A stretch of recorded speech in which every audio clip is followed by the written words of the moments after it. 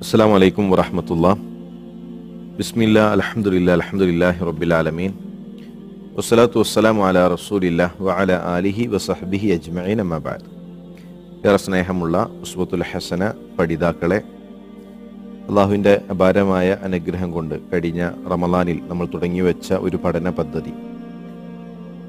അടുത്ത ഒരു റമലാനിലേക്ക് വരെ അത് തുടർത്തിക്കൊണ്ടു പോകുവാനും ഒരുപാട് കാര്യങ്ങൾ പഠിക്കാനും പകർത്താനും നമുക്ക് സാധിച്ചു. അള്ളാഹു ഇതിന്റെ പിന്നിൽ പ്രവർത്തിക്കുന്ന ആളുകൾക്ക് അർഹമായ പ്രതിഫലം നൽകി അനുഗ്രഹിക്കുമാറാകട്ടെ. പഠിച്ച കാര്യങ്ങൾ അമലാക്കാനുള്ള തോഫീക്ക് നമുക്ക് നൽകി അനുഗ്രഹിക്കട്ടെ. ഇസ്രാ മിയറാജ് ഏഴാൻ ആകാശത്ത് എത്തി നിൽക്കുന്ന പ്രവാചകൻ സല്ലാഹു അലൈഹി വസ്ലമ തങ്ങൾ ജിബിരിൽ അലഹിസ്സലാമുമൊത്ത് ഏഴാൻ ആകാശത്തെത്തിയതും അവിടെ വെച്ചുകൊണ്ട് ബൈത്തുൽ മഹ്മൂർ അതുപോലെ തന്നെ സിദ്റത്തുൽ മുൻതഹ നാല് നദികൾ ഇത് കണ്ട കാഴ്ചകളും നമ്മൾ പറഞ്ഞു. പിന്നീട് പ്രവാചകൻ സല്ലാഹു അലൈഹി വസ്ലമ തങ്ങൾ സ്വർഗം കണ്ടു. ഏഴാൻ ആകാശത്തിലാണ് പ്രവാചകൻ സല്ലാഹു അലൈഹി വസ്ലമ തങ്ങൾ ഏഴാൻ ആകാശത്തിന് മുകളിൽ സ്വർഗം കാണുന്നു. അതിലൂടെ നടക്കുന്ന സമയത്ത് ഒരു നദി അള്ളാഹുവിന്റെ പ്രവാചകൻ സല്ലാഹു അലൈഹി വസ്ലമ തങ്ങൾ കണ്ടു. ആ നദിയുടെ രണ്ട് താഴ്വരകളിലും രണ്ടു ഭാഗങ്ങളിലും ചെറിയ കൊച്ചു കൊച്ചു കൊച്ചു ടെന്റുകളുണ്ട്. മുത്തുകൾ കൊണ്ടാണ് അത് നിർമ്മിച്ചിട്ടുള്ളത്. ആ നദി ചൂണ്ടി അള്ളാഹുവിന്റെ റസൂൽ സല്ലാഹു അലൈഹി വസ്ലമ തങ്ങൾ ജിബിരിൽ അലൈഹി സ്വലാമിനോട് ചോദിക്കുന്നു ഇതെന്താണ്? ജിബിരിൽ അലൈഹി സ്വലാം അറിയിച്ചു കൊടുത്തു ഇതാണ് കൗസർ. അള്ളാഹുവിന്റെ റസൂൽ സല്ലാഹു അലൈഹി വസ്ലമ തങ്ങൾക്ക് പ്രത്യേകമാക്കിയ നാളെ അള്ളാഹുവിന്റെ റസൂലിന്റെ കരങ്ങളിൽ നിന്ന് പ്രവാചകന്റെ ഉമ്മത്തിനെ കുടിപ്പിക്കുന്ന കൗസറാണ് അത് എന്ന് ജിബിരിൽ അലൈഹിസ്സലാം മറുപടി നൽകി. അത് ഒഴുകിക്കൊണ്ടിരിക്കുകയാണ്. നല്ല തെളിമയുള്ള ഏതെങ്കിലും വിധത്തിലുള്ള കെട്ടിക്കൊടുക്കുകളോ അങ്ങനെയൊന്നുമില്ലാതെ തെളിമയോടുകൂടെ ഒഴുകിക്കൊണ്ടിരിക്കുന്നു. ഇതുവരെയും ഒരാളും അതിലേക്ക് ഇറങ്ങിയിട്ടില്ല. അത്രയും ശുദ്ധമായിട്ടുള്ള നദിയാണ് കൗസർ.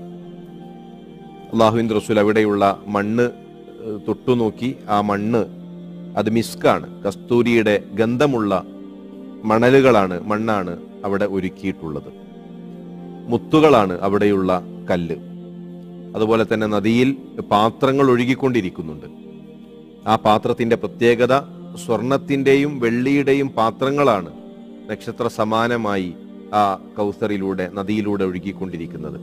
ഇപ്പൊ മുത്തിന്റെ മുകളിലൂടെ ഒഴുകിക്കൊണ്ടിരിക്കുന്ന പവിഴ പവിഴങ്ങളുടെ മുകളിലൂടെ ഒഴുകിക്കൊണ്ടിരിക്കുന്ന കസ്തൂരിയുടെ ഗന്ധമുള്ള സ്വർണത്തിന്റെയും വെള്ളിയുടെയും പാത്രങ്ങൾ ഒഴുകിക്കൊണ്ടിരിക്കുന്ന നദിയാണ് യഥാർത്ഥത്തിൽ സ്വർഗ ലോകത്ത് വെച്ചുകൊണ്ട് പ്രവാചകൻ സല്ലാഹു അലൈഹി വസല്ലം തങ്ങൾ കാണുന്നത്. അതിന്റെ നിറം പാലിനേക്കാൾ തൂവെള്ള നിറത്തിലാണ് എന്ന് ഹരീസുകളിൽ കാണുവാൻ സാധിക്കും. പിന്നീട് പ്രവാചകൻ സല്ലാഹു അലൈഹി വസല്ലം തങ്ങൾ സ്വർഗത്തിൽ പ്രവേശിക്കുന്നു. അവിടെ വെച്ചുകൊണ്ട് ബിലാൽ റതിയല്ലാഹു തലാൻഹുവിന്റെ ശബ്ദം അദ്ദേഹത്തിന്റെ കാൽ ശബ്ദം പ്രവാചകൻ സല്ലാഹു അലൈഹി വസ്ലമ തങ്ങൾ കേൾക്കുകയും പിന്നീട് ഇസ്രാ മിറാജിന് ശേഷം ആ ഒരു കാര്യം ബിലാൽ റുദിയല്ലാഹു തലാൻഹുവിനെ പ്രവാചകൻ സല്ലാഹു അലൈഹി വസ്ലമ തങ്ങൾ അറിയിക്കുകയും ചെയ്തു. പിന്നീട് വീണ്ടും അള്ളാഹുവിന്റെ റസൂൽ മുകളിലേക്ക് പോകുന്നു. എത്രത്തോളം എന്ന് വെച്ച് കഴിഞ്ഞാൽ ലൗഹുൽ മഹ്ഫൂദിൽ എഴുതുന്ന ശബ്ദം ആ പേനയുടെ ആ എഴുത്തിന്റെ ശബ്ദം കേൾക്കുന്ന അത്ര ഉയരത്തിൽ അള്ളാഹുവിന്റെ റസൂൽ സല്ലാഹു അലൈഹി വസ്ലമ തങ്ങൾ എത്തി നമുക്കറിയാം ലൗഹിലുള്ള എഴുത്ത് അവസാനിച്ചിട്ടില്ല. മുഴുവൻ കാര്യങ്ങളും എഴുതി വെച്ച് കഴിഞ്ഞു വരാനുള്ളതും കഴിഞ്ഞുപോയതുമായ എല്ലാ കാര്യങ്ങളും. ഇനി അവിടെ നിന്ന് ചില ഭാഗങ്ങളിലേക്ക് പകർത്തി എഴുതും. അത് വിശദമായിക്കൊണ്ട് അക്കീതയുമായി ബന്ധപ്പെട്ട് നമ്മൾ മനസ്സിലാക്കേണ്ട വിഷയമാണ്. ആ ശബ്ദം അള്ളാഹുവിന്റെ റസൂൽ സല്ലാഹു അലൈഹി വസ്ലമ തങ്ങൾ കേൾക്കുകയാണ്. അവിടെ വെച്ചുകൊണ്ട് അള്ളാഹു താല പ്രവാചകൻ സല്ലാഹു അലൈഹി വസ്ലമ തങ്ങളുടെ ഉമ്മത്തിന് അൻപത് വക്ത് നമസ്കാരം അൻപത് നമസ്കാരം നിർബന്ധമാക്കി. പ്രവാചകൻ സല്ലാഹു അലൈഹി വസ്ലമ തങ്ങൾ സന്തോഷത്തോടു കൂടെ തിരിച്ചു മടങ്ങുന്നു മൂസാ നബി അലൈഹി സ്വലാമിനെ കണ്ടുമുട്ടി. നമുക്കറിയാം ആറാം ആകാശത്തിൽ വെച്ചിട്ടാണ് മൂസാ നബി അലൈഹി സ്വലാമിനെ കണ്ടത്.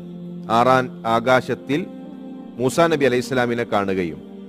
മൂസാ നബി അലൈഹി സ്വലാം ചോദിക്കുന്നുണ്ട് മുഹമ്മദ് എന്താണ് നിന്റെ ഉമ്മത്തിന് നിർബന്ധമാക്കിയിട്ടുള്ളത് ഫർലാക്കിയിട്ടുള്ളത്? അൻപത് നമസ്കാരമാണ് എന്റെ ഉമ്മത്തിന് നിർബന്ധമാക്കിയിട്ടുള്ളത്. മുസാ നബി അലൈഹി സ്വലാം പറഞ്ഞു മുഹമ്മദ് നിന്റെ ഉമ്മത്തിന് ഇത് വഹിക്കുവാൻ കഴിയുകയില്ല. അവർക്ക് ഈ ഭാരം ഒരിക്കലും വഹിക്കാൻ കഴിയുകയില്ല.